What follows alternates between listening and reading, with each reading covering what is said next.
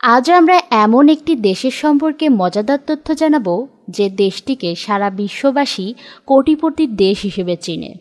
সেই দেশের মানুষের জীবনযাত্রা এবং বিলাসিতা সারা বিশ্ববাসীকে মুগ্ধ করেছে। আর সেই দেশটির নাম হল কাতার। কাতার মধ্যপ্রাচ্যের একটি আরব দেশ। মধ্যপ্রাচ্যের সমস্ত আরব দেশগুলির মধ্যে কাতারই সবচেয়ে ছোট দেশ। তো জেনে নেওয়া যাক কাতার সম্পর্কে কিছু অদ্ভুত এবং মজাদার তথ্য।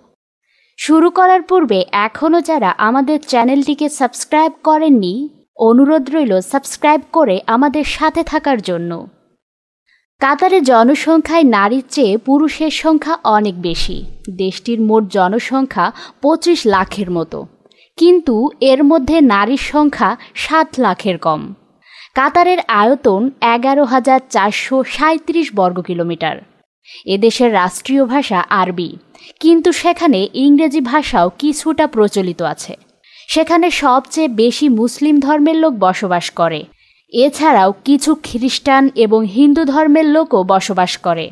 কাতার ইসলামিক রাষ্ট্র হওয়ায় সেখানে শুক্রবার এবং শনিবার সাপ্তাহিক ছুটি দেওয়া হয়। গত এক দশকে লন্ডনে প্রচুর সম্পদ কিনেছে কাতার। কয়েক মাস আগে কাতারের অর্থমন্ত্রী জানিয়েছিলেন, যুক্তরাজ্যে তাদের বিনিয়োগের পরিমাণ পঁয়তাল্লিশ থেকে একান্ন বিলিয়ন ডলারের মতো।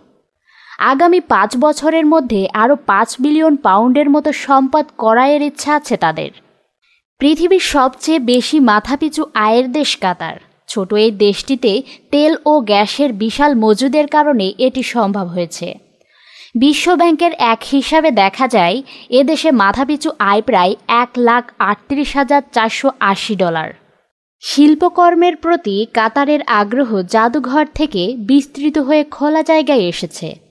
যারা দোহার হামাদ আন্তর্জাতিক বিমানবন্দরে গিয়েছেন, তাদের চোখে বিশাল আকৃতির একটি ভাল্লুকের শিল্পকর্ম চোখে পড়েছে নিশ্চয়ই।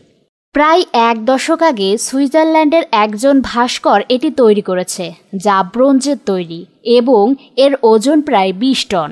দুই হাজার এগারো সালে নিউ ইয়র্কে এক নিলাম থেকে প্রায় সাত মিলিয়ন ডলার খরচ করে এই ভাস্কর্যটি করাই করে কাতার সরকার।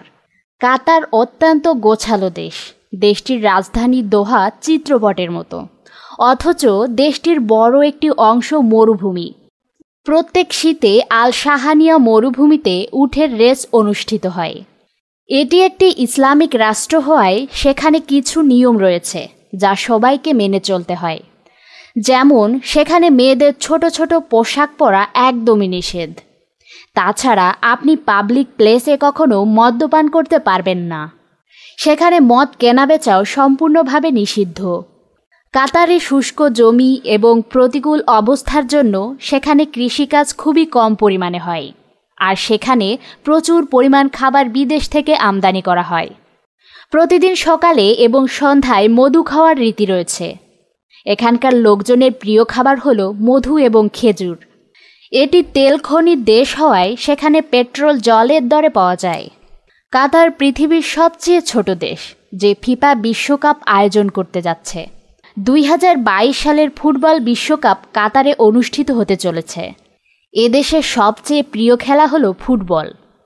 যে কারণে কাতারের সাথে ফুটবলের সম্পর্ক অন্যরকম। পৃথিবীর সব রকম রহস্যময় এবং জানা অজানা বিষয় সম্পর্কে জানতে সাবস্ক্রাইব করুন আমাদের চ্যানেলকে।